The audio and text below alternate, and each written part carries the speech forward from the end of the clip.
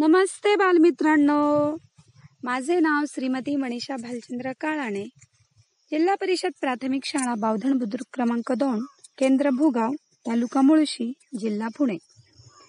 या व्हिडिओमध्ये आज आपण इयत्ता दुसरीच्या खेळू करू शिकू या पाठ्यपुस्तकातील तंत्रज्ञान क्षेत्र हा घटक अभ्यासणार आहोत.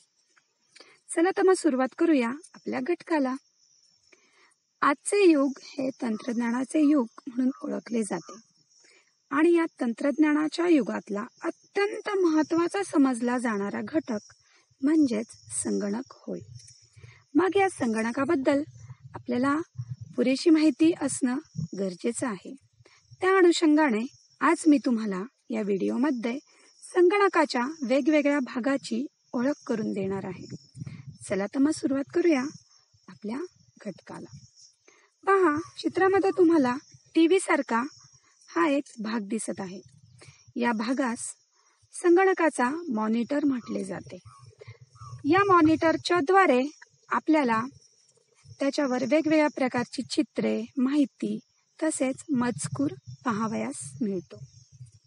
संगणकाचा दुसरा भाग आहे C P U. C P U म्हणजेच कंट्रोल पॉवर युनिट. या सीपीयूला संगणकाचा आत्मा म्हटले जाते. कारण पूर्ण संगणकाचे कार्य हे या सीपीयू वरच अवलंबून असते.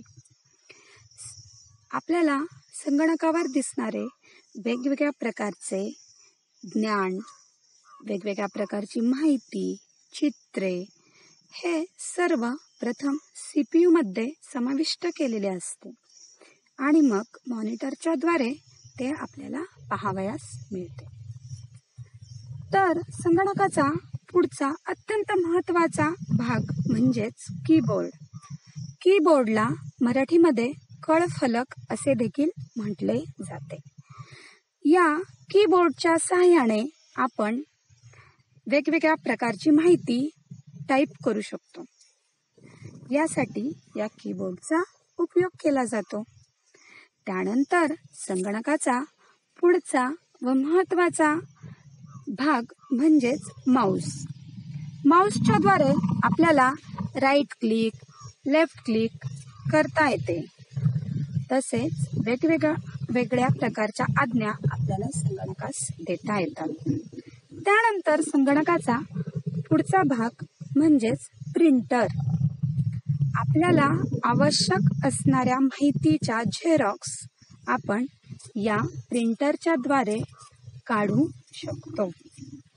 असा या प्रिंटरचा उपयोग केला जातो. त्यानंतर संगणकाचा पुढचा व महत्त्वाचा घटक आहे स्पीकर. संगणकामध्ये असणारी गाणी असतील वेगवेगळ्या प्रकारचे ऑडिओ असतील व्हिडिओ असतील किंवा आपण पाहत असलेले चित्रपट असतील या सर्वांना येणारा आवाज हा आपण ह्या स्पीकरद्वारे ऐकू शकतो.